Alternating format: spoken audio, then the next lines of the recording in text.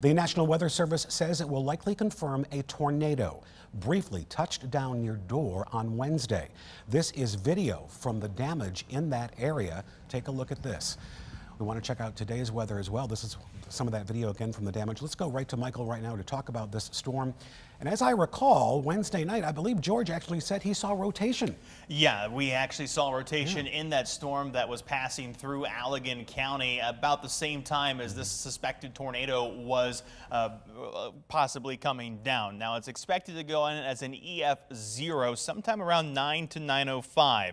This radar image on your screen here from 9.15, so slightly after that, but you can see the rotation here where the reds and the greens come together near Moline to the east of Dorr. Wind this back about uh, 10, 5 minutes or so. That gets you right into the Dorr area, and that's likely where we saw that potential tornado come from. Now, the reds on the screen there, the ones that rotate away from you, away from the radar, and the greens going toward the radar, you can see pretty clearly there where that center of rotation would be, and we're still waiting on more details from the National Weather Service this afternoon as to when exactly that storm went down, when it lifted, and just exactly what path it took. Of course, we'll bring those to you here at 13 on your side.